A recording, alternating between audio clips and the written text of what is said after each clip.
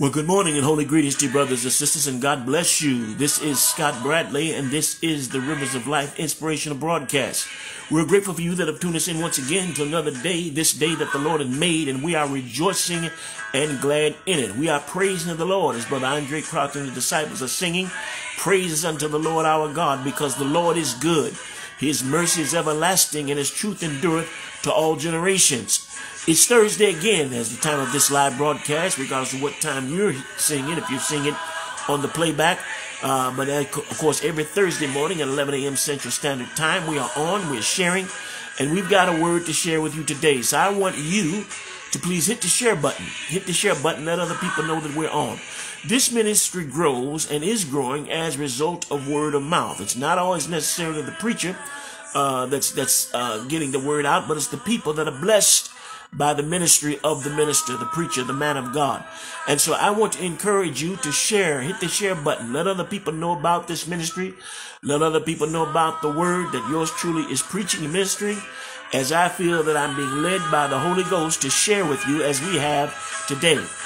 Also, please let us know where you are viewing from. It's important that we know. I want to know where this ministry is going throughout these United States, throughout the world.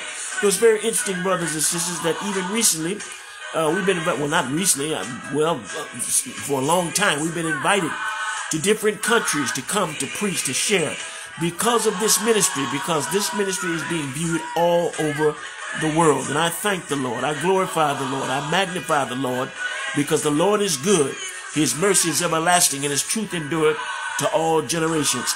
God bless Brother Andraé. Thank you. We are praising and magnifying the Lord. Let's bless the Lord, oh my soul, and all that is within me. Listen, I want you uh, to uh, uh, get a copy of my latest book. The challenge doesn't get the, got the glare out there. The challenges of the 21st century church. If you don't have this book, uh, we have many people that are that are coming back saying how they've been blessed by it. Uh, uh, the, the, the sales have been increasing, in fact, through this media.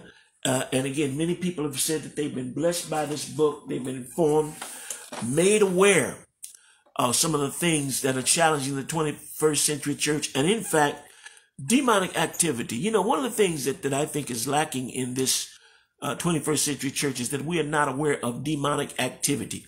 Uh, in fact, the mindset of many people today is that there's no such thing. That's, that's superstition. Uh, that's mythology and all that kind of stuff. But I want you to understand that the, the devil is real and so are demons and demon possession, demon activity is very active in the church and particularly in American society. And I said, yes, in the church. Yes, demonic activities in the church, deceiving people, turning people's hearts away from God, uh, causing people to call other things God, uh, causing people, you know, I, I, I've never, in my life met so many people who think they're smarter than God, you know, and have come up with reasons why why did God do this? Why did God do God should have done that? I could never serve a God. You know, you know, I'll probably talk about that in the presentation today. And uh, incidentally, I want to, I want to at least leave open. I may take 45 minutes today in the presentation rather than the usual 30 to 35 minutes. Uh, I may go 40 to 45 minutes today uh, to try to get everything in here today. I, I, there's there's something that the Lord has really laid upon my heart to share, because sometimes we need to go back to basics. Sometimes we need to go back to basic teaching, and, and particularly now with the challenges of the 21st century church. Uh, the devil has convinced folk that have professed to be Christians for a long time, and I'm seeing it on social media. Uh, I'm seeing it uh, uh among people that I know that uh, even ministers, preachers of the gospel that are suddenly now starting to turn away from this gospel and starting to pick up other uh, demonically influenced ideologies, demonically influenced uh, philosophies, uh, you know, such things as praying to the ancestors. As Christians, we don't pray to the ancestors. It's not necessary for us to pray to dead loved ones, you know. Uh, and I understand that many of our uh, black ministers uh, we are we are trying to discover our blackness, our roots, and I understand that, and you know that I honestly believe, and you oftentimes hear me say that Christianity went into Africa before it went up to Europe. I understand what you're trying to do, but don't get so wrapped up in blackness, because a lot of black folk done, done messed up a lot of things. A lot of black folk done did some wrong stuff. Just because one is black does not make one right, you know. And again, I love my people. I love us as a black folk. I pre, you all know I do the biblical blackness presentation, but you do not have to turn away from Christianity. I know the white man has uh, played it to his his pleasure. I know the white man is it to keep black people in bondage. But don't forsake Jesus. Don't forsake God because of the actions of others. Now, again, that's not the presentation today. Today, I want to go into basics that we may understand because, again, a lot of people now are trying to profess to be Christians, but don't really know what it's all about. Uh, there's a great compromise I've noticed in this 21st century, and, and basically for political correctness, which is trying to say that God is in every religion. And when I speak of the religions, I'm not talking about denominations like Baptist, Methodist, Pentecostal, Catholic. I'm not talking about that. I'm talking about other religions Islam, Buddhism, uh, Hinduism, uh, Judaism, uh, and of course Christianity, because even within Christianity, you got folk that are not uh, preaching basic Christian foundational teachings. What is the foundational teaching of Christianity, brother preacher? It's this. When Jesus said to Peter, uh, Blessed art thou, Simon Barjona, for flesh and blood are not revealed to you. I'm to give you that in a second. Uh, but my Father in heaven, I say unto thee that thou art Peter, and upon this rock I will build my church, and the gates of hell shall not prevail against it. Now the rock was not Peter. The rock was the revelation that Peter received from God, that Jesus is the Christ, the Son of the living God. That is the rock of Christianity. Well, go deeper. That is the rock of the church. Christianity is a religious uh, title, but it's deeper than religion.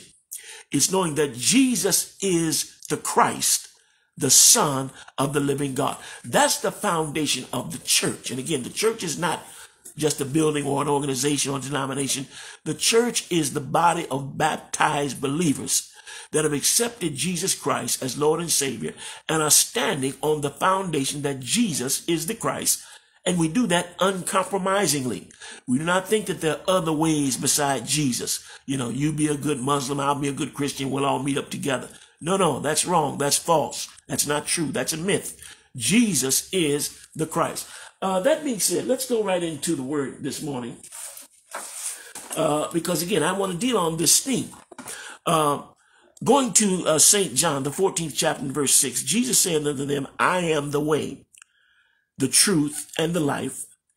No man cometh to the Father but by me.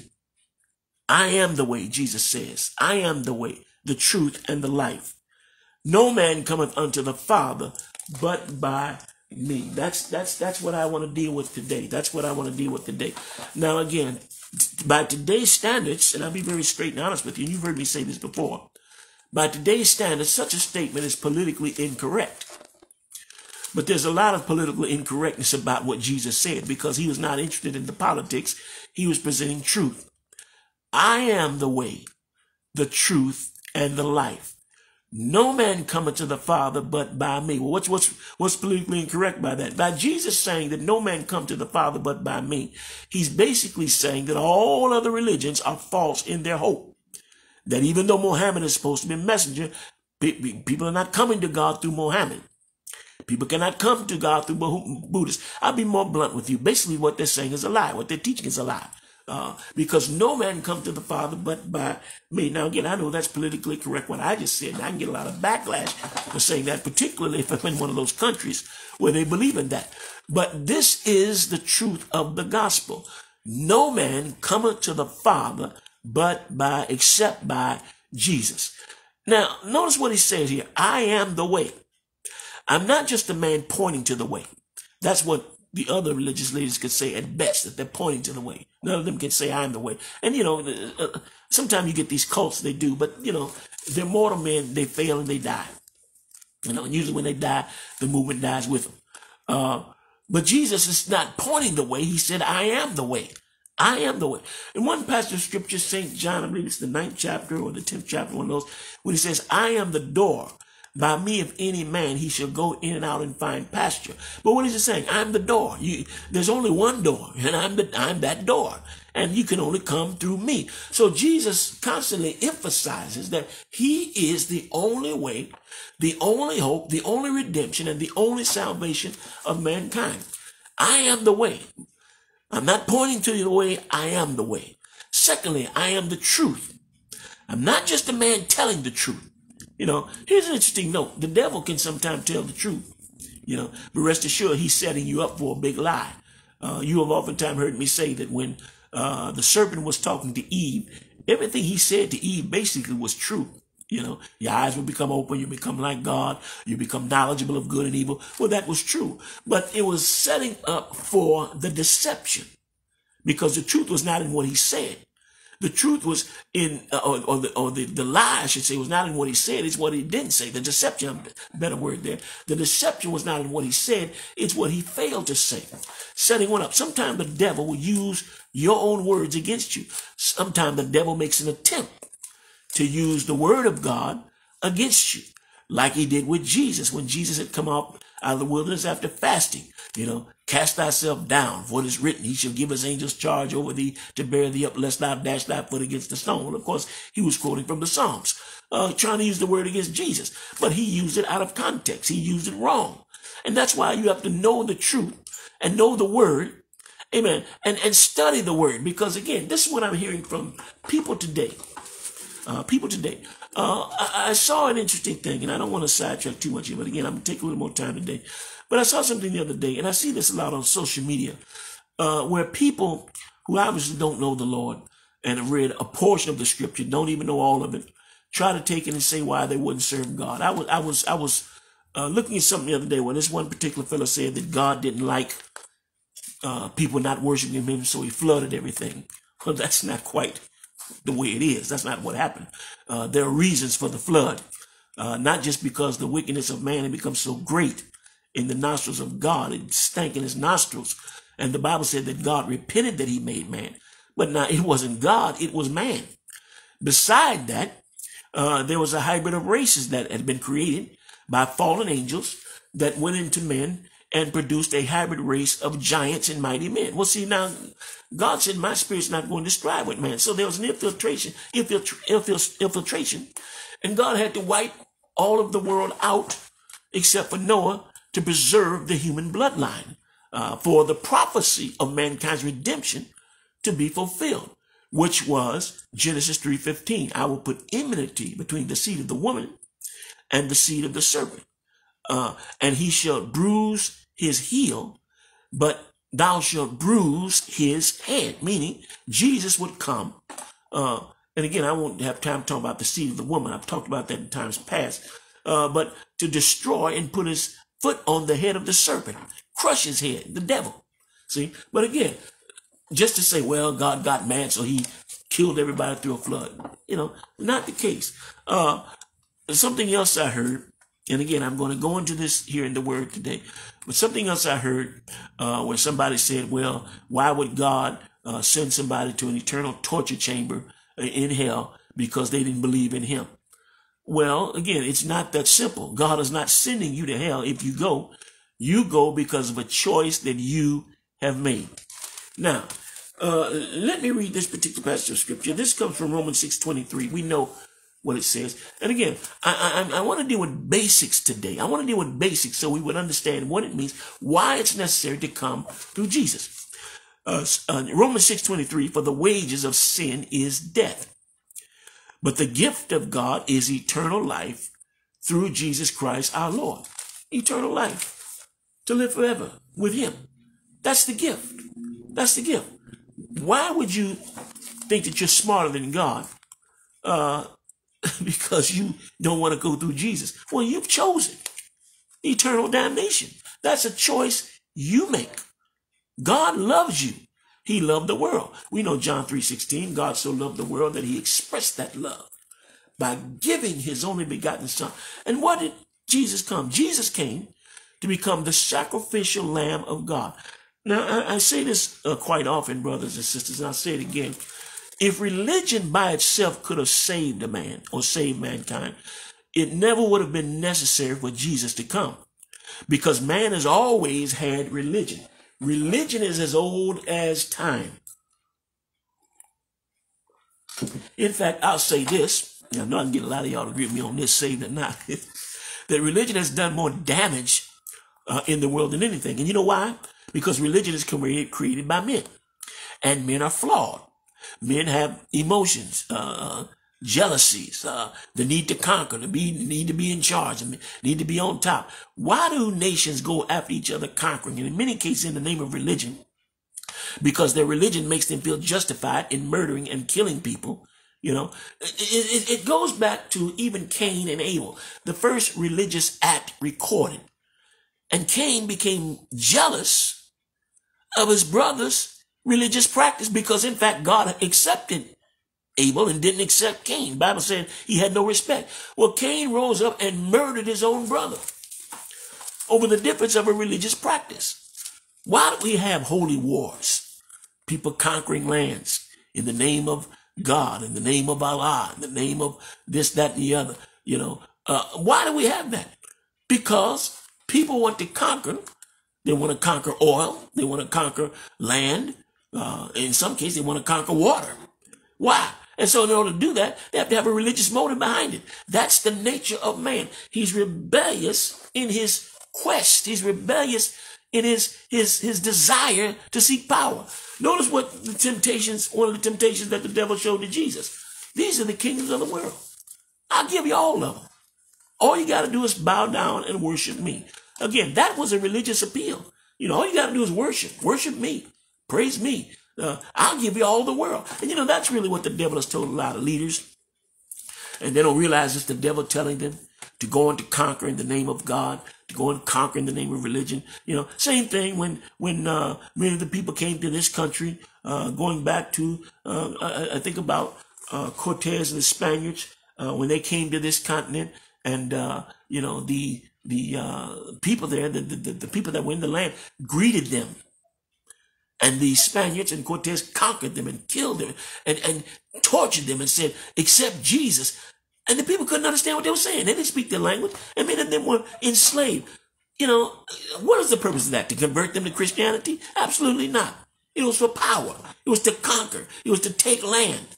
You know, and they used religion to justify. it. Well, that's what religion has done down through the millenniums, brothers and sisters, down through the millenniums. Uh, notice again what, what man has done. This is what man has done. This is what man has done is, re- is rebellion. Now, we must understand that we are created by an eternal God. Why do I have to go to hell for he- forever? The same reason we go into heaven forever. Because we move out of time into eternity. We are in time. I oftentimes say we are traveling through time destined for eternity. And the reason why that is, is because God is a God of eternity. God is eternal from beginning to the end. God, where did God come from? God did not come from anywhere. He was always there. Now don't even try to figure that out. Don't try to calculate that in your mind. All you're going to do is give yourself a headache because you cannot comprehend the things of eternity.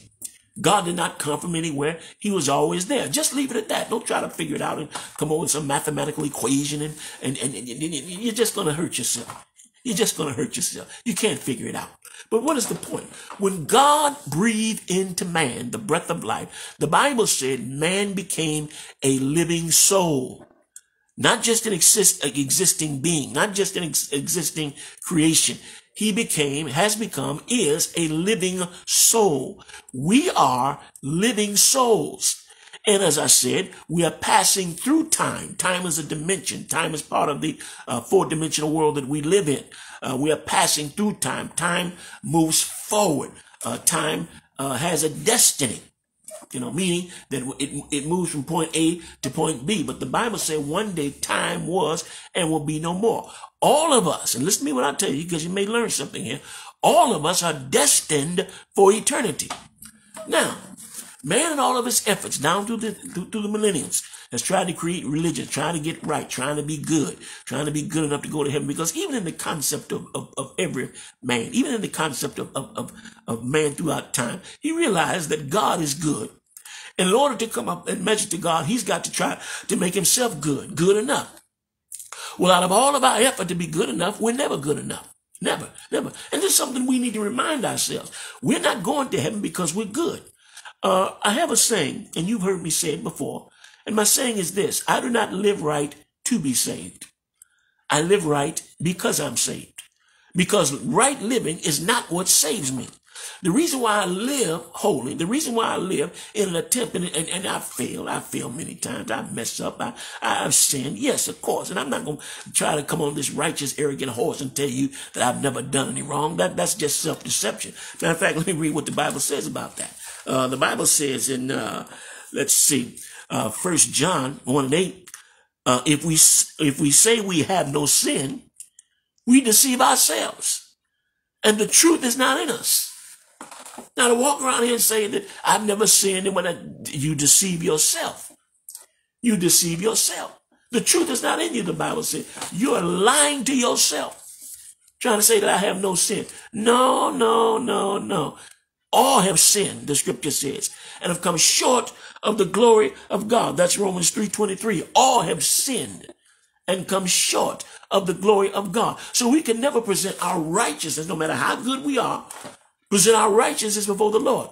Now, what did you say, brother preacher? You live right because you're saved. Meaning this, there's been a conversion of heart because I've given myself to Jesus. There's a conversion of heart and my motive is to do the will of the master. You heard me say this on numerous occasions. I'll say it again. When we walk with the Lord, there should be a servant master relationship. He is the master and we are the servants. And the motive of the servant is to please his master. That's my motive. That's my drive in life. To please the Lord. To please the Lord. And I know doing certain things will not please him. I know living certain things and, and, and, and, uh, you know, lying and cussing and cheating and stealing and committing adultery and that is not pleasing to my master. So I refrain from those things. I keep from doing those things, you know. And the Bible said this, if we sin, because again, there's still a nature about us that makes us rebel. If we sin, we have an advocate with the Father, Jesus Christ, the righteous. So it points us again back to Jesus. Now, uh, Jesus is the love of God expressed. God so loved the world until he expressed that love by giving his only begotten son. You know, brothers and sisters, I think about when I was in college and I had a class in psychology. Uh, and I, you know, I, I, really don't remember too much about it. To be very honest with you, I just took it because I more had to. Uh, but there was something in that class that I remember reading in the textbook that always stuck with me, even to this day. It makes me happy, makes me rejoice. Uh, psychology is basically an, an, an, attempt, a science of the human mind and human behavior. Those of you that don't know, uh, that's what psychology is. Uh, human behavior, the study of human behavior, the study of the mind, uh, they say that the mind is broken down into three portions the id, the ego, the superego. Again, I'm not going to go into that now. Uh, but there was a portion in there that I remember reading. Uh, it said, Love is unexplainable. Psychologists cannot explain love. Again, I, I thought about this. I read this and I caught my attention. They can't explain why a man loves a woman or why a mother loves her children or for that fact, why a boy loves his dog. I mean, you know, there are different categories, of, of course. But there's no explanation behind it. They don't understand why. Now they understand behavior. Uh, they understand various things. But psychologists can't understand love. Even define it in, in many instances. Well, I thought about that even in college. I said the reason why they can't define love is because you can't define God. God is love. What motivated God to love? There's no reason. Andraé Crouch, you sing that song, I don't know why Jesus loved me. I don't know why he cared. I don't know why he sacrificed his life. Hallelujah. But I'm glad he did. Well, that, that sums it up. There is no explanation. But I will say this. Uh, psychologists did say this, that love is an inner feeling outwardly expressed. So what is love? Love is an expression. Love is, is an expression.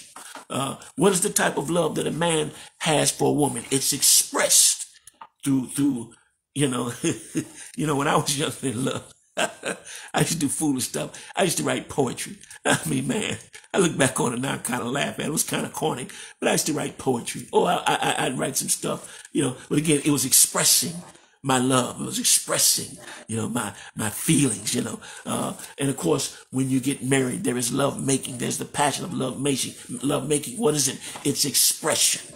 It's expression. Uh, what does a mother do for her children to express love? Well, she feeds them, she nurtures them. The same with the father. He covers, he protects. Why? Because love is an expression, an inner feeling outwardly expressed. Now, you that are trying to say that God is horrible, and I heard something else the other day, which I thought was just mind numbing, where a fellow tried to compare, he talked about an incident that happened in a Nazi war camp. And uh, to discourage, as I remember the story, uh, this was a priest or a, a, a person that was in uh, a Nazi war camp, and uh, uh, they had uh, anytime a prisoner tried to escape, when they would catch him, not only would they execute him, but they would pick out five other people to be executed with him to discourage running away. And uh, according to the story, the man said that they were going to kill one man. He pleaded with them, please don't kill me. I'm a father, I'm a husband. And there was a priest there who had no children, obviously. And he said, I'll die in this man's place. Uh, and he reckoned the man as a Christ figure, but he reckoned the cruel guard that performed the execution as God. You know, and that and he became angry in his writing. It appeared he was angry with God that God is this cruel man who discourages this kind of thing, and by taking out his wrath and killing people and sending people to hell. Well, again, there obviously was a man that didn't know the Lord that obviously was a man that didn't know the Father. And I've actually heard other people say this, even among preachers, that God had a bad reputation among the people until Jesus came and cleared it up. Well, you know what? Again, we really don't understand the love of God and Jesus coming in the first place. The reason why the Lord turns against sin, and, and, and listen to me and learn something here, is because sin is a reproach to God. Uh, it's, it's, it's nasty. It's, it's, it's stinks in the nostrils of God. Remember, God is all righteous. There is no unrighteousness in God. God is all righteous. And sometimes even his righteousness cause him to eliminate the situation that's unrighteous. You know, now God is tolerant. He's long suffering. God doesn't always just go down and, and wipe folk out, but sometimes he does. Sodom and Gomorrah was wiped out because the Bible said that their sin has come up as a stink and an offense to God. And so God just got tired of it and wiped it out. Why? Because he's a righteous and holy God. Now, you go further because I want you to understand. God, in spite of all of what mankind has done, still loves us. And so he expressed his love. He didn't just say, well, I love them folk, but hey, I feel sorry. No, he expressed his love by giving his only begotten son, Jesus, the innocent Lamb of God. A lamb represents innocence. A lamb is a pretty much a defenseless animal. You know, I mean, he, he really can't do nothing except graze. I mean, you know, it's not, he, he can be good eating. You know what I mean? But the point is this, that he became a lamb, a lamb, innocent innocent for every one of us that are guilty and destined for eternity with an, uh, uh, uh, without God. What does that mean? That means we're destined for hell. All of us that are born are born destined for hell. But God loved us. Now you calling God an evil taskmaster. You calling God an evil Nazi God that takes pleasure in executing people. That is not true. That is not God. You know, and again, to make a comparison is really unfair because you don't understand the, the righteousness of God. So God expressed that love. Let me see my time here. Yeah, look like I'm gonna go 45 today. God expressed that love by giving his only son.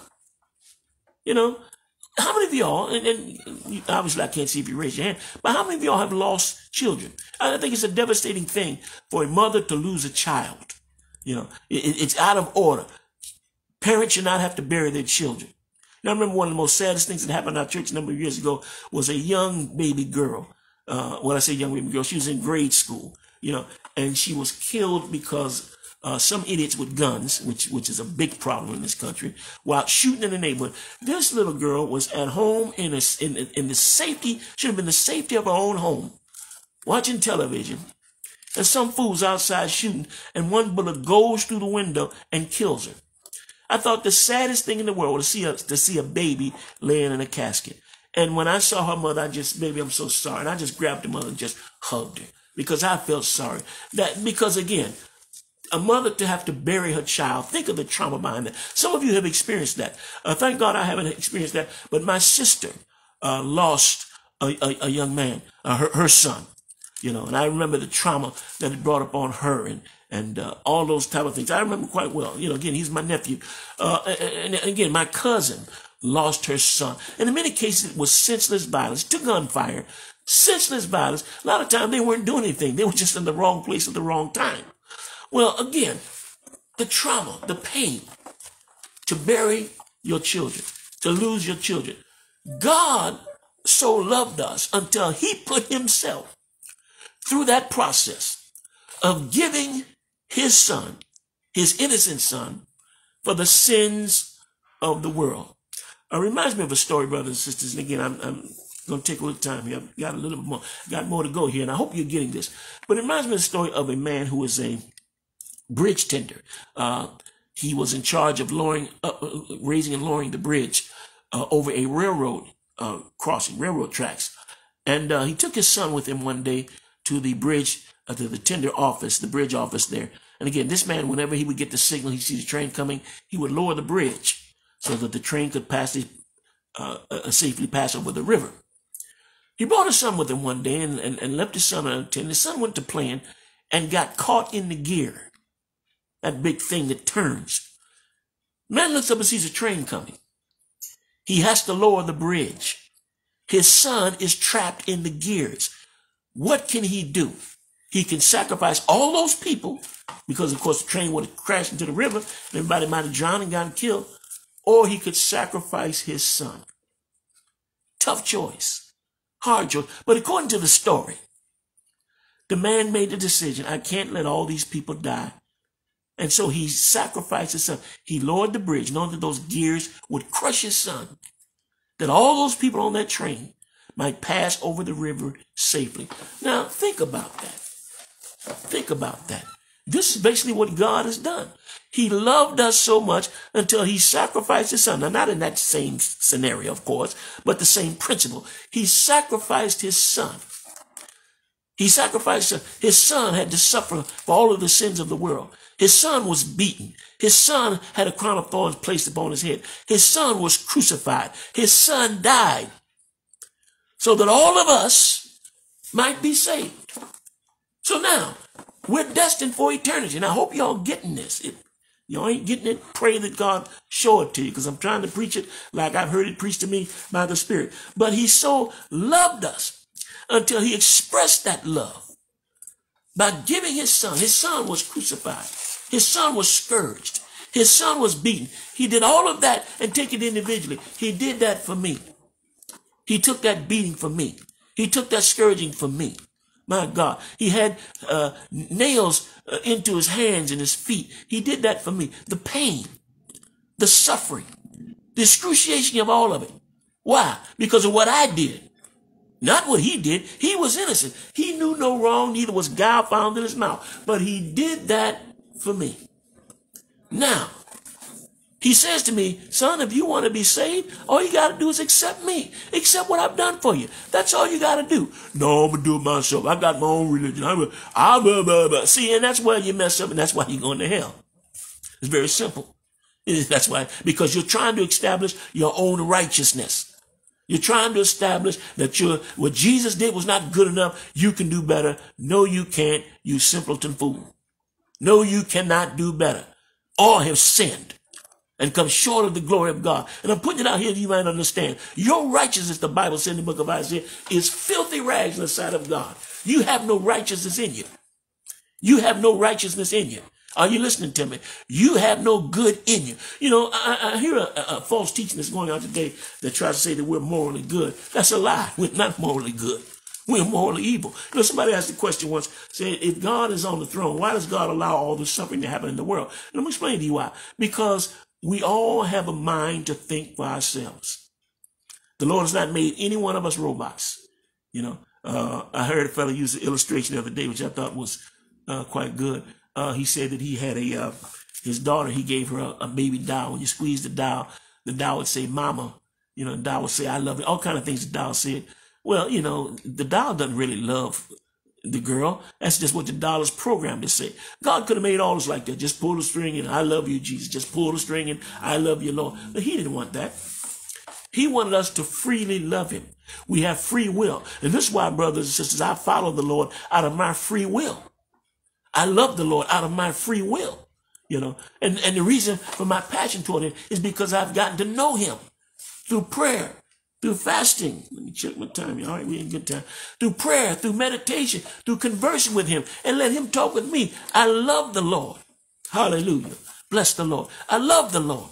And uh, I'm saying that that because God has given us free will, well, everybody doesn't love the Lord. And as I said from the onset, people have other motives to conquer, to be in charge, to have power. You know, I'm looking at what Putin is doing over there in Russia. Why is he conquering a sovereign nation? For power. For power. Here's a man that's ungodly. Here's a man that, that doesn't believe in God. Here's a man that, that has no regard. In matter of fact, it's suppressed in his country. He's doing it for one reason, for power. Take over another country. You know, I do it because I can. Uh, it ain't quite well turning out that way. And I'm praying for Ukraine. I really am. I'm praying for that whole situation over there. But for all we know, it could be the fulfilling of prophecy. And I've been praying, Lord, let your will be done in the area. Let your purpose be fulfilled. That's been my prayer in that situation. I've been praying for the people of Ukraine. I've been praying that God uh, save many of them. But this just may be a greater purpose that God has in mind. Well, again, let me get back to my point because again, I got time, but I don't want to waste all of it. But again, Man does what he does. The evil that's in the world today is not because of God, it's because of man. You know, uh, I, I learned something not too long ago that there's enough food in the world, which is a miracle to me the way we consume 7.3 billion people in the world. There's enough food in the world to feed everybody three times a day. That's that's a miracle within itself. That's the expression of God within itself. Unfortunately, everybody's not being fed. And you know why? Because poverty is in certain areas. Why is poverty in certain areas? Because the rich have conquered the poor and have left them in that state. Many of those people that are in those poverty countries are because of politics at a higher level. You know, uh, various reasons, but all of them have to do with the greed of man. So why is evil in the world today? Not God, man. Man has done it. But here's another interesting thing. How would we know God is good if it can't be measured against evil? See, you, you, you take for granted that God is good if everything good was happening. Sometime in our lives, God allows evil to happen to measure against how good he is. And so I know the Lord is good because I've seen the troubled side. I know the Lord is righteous because I've seen the unholy side. I know the Lord is loving because I've seen the hateful side. So I measure God's love against the hate. And that's how I know God is who he said he is. God is my all in all. All right. Thank the Lord. Let me get, move on here. As I said before, if we say we have no sin, we deceive ourselves and the truth is not in us. John 1 and 8 says. But then notice what uh, Romans 3.23, all have sinned. So you are not righteous. You are not morally good. No, you're not. All have sinned. It's in your nature to sin. It's in your nature to rebel. You know, it's in your nature to justify yourself. You do wrong instead of repenting. That's why some of y'all are out of fellowship with God because instead of repenting for what's wrong, you busy trying to justify yourself and give God an explanation. And I've told y'all before, explaining to God is not repentance. Ooh, that coffee's cold. Have to get some more coffee. Uh, explaining to God why you messed up is not repentance. Repentance is coming for, the Lord with a contrite heart. You know, you read the 51st uh, division of Psalms when David repents for his sin. Have mercy on me, O God, according to thy loving kindness and the multitude of thy tender mercies. Blot out all my transgressions, for against thee and thee only have I sinned. Purge me with hyssop, and I shall be clean. Wash me, and I shall be whiter than snow. Make me to hear joy, that the bones that thou hast broken may rejoice. Restore unto me the, uh, create me a clean heart and renew a right spirit within me. Restore unto me the joy of thy salvation and hold me in a free spirit. What is David doing? He's repenting for his wrong. He's repenting for his wrong. Not one time did he name Bathsheba, who he committed adultery with. Not one time did he say to God, Lord, the reason why it happens because she was out there and I, no, no, he never explained it because there was no explanation necessary. Not one time did he mention Nathan the prophet who exposed him. He came before God and repented of his wrong. And brothers and sisters, isn't it simple? That's all you have to do is come before the Lord and repent And as we talked about last week, let the sanctifying process begin in us. Let the regeneration process begin in us. Let the healing begin in us. As I said before, man in his state is rebellious. And as I prepare to bring this to a close, here's the problem what our rebellion does. Our rebellion causes us to redefine or make an attempt to redefine scriptures to fit our situations. Let's go to this LGBTQ, LGBTQT, whatever, homosexual movement. You know, listen, listen to what they say. I listen to what they say. I don't just cut them off the order. No, listen to what they say. In most cases, they're trying to use God's love to justify their action. They're using that out of context. You know, I listened to one fellow, he said, any church, you know, suddenly he's an expert on the church now. Any church that uh, preaches against homosexuality, which is two people loving each other, you need to re-examine your values. This is what a gay person said, that the church needs to reassess its values because after all, God is a God of love. Uh, sir, ma'am, let me say this to you. And again, I'm not homophobic because I'm not afraid of you. That's a tab you may try to use me and say, well, you're homophobic. No, I'm not afraid of you. I'm not afraid of you. And I'm telling you that you are quoting the scripture or have a misunderstanding of love compared to unrighteousness. Uh, the act of homosexuality is what I've talked to you times this before. It's not love. It's abomination. God loves you to the point where he died for your sin. But that don't mean keep doing the same thing. You know, you have tried to take something that the Bible actually referred to as abomination, and the Bible even referred to as perverted, you know, and trying to justify it by saying it's part of the expression of love. No, it's not the expression of love. It's confusion. It's an act of rebellious behavior.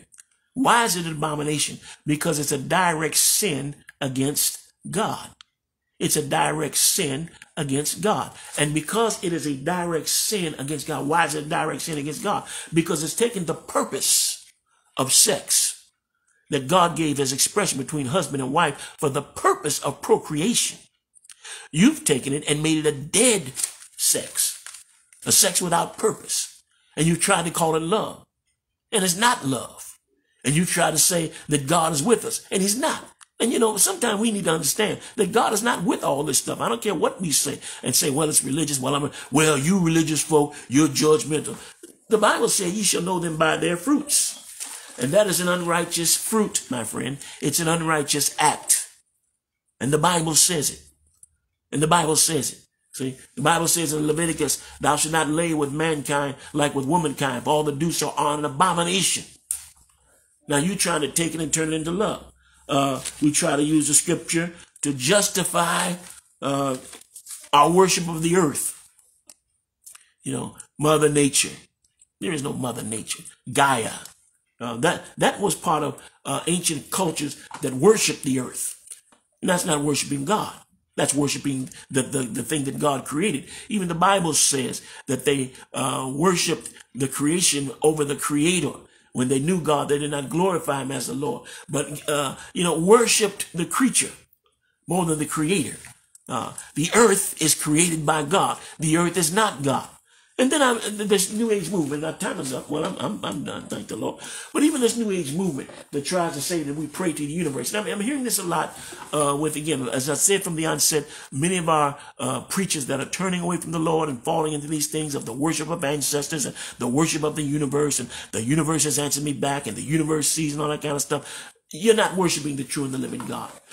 Uh, you, you, you've turned away. You've gotten off track. You've gotten sidetracked. I would encourage you. I would beg you to get back to the God of the Bible. Jesus is the only way. In our theme scripture that we wrote, I am the way, the truth, and the life. No man come to the Father but by me. Now you have to deal with the fact that either Jesus is a liar or he meant what he said. And it's impossible for God to lie. So if Jesus, being God incarnated in the flesh, in the beginning was the Word, the Word was with God, the Word was God, and the Word was made flesh and dwelt among us. If Jesus is the Son of God, like he said, if Jesus is the righteous way of God, like he said, then he's not lying. It's impossible for him to lie. It's impossible for him to lie. All right, our time is up. I pray that y'all got that. Share this.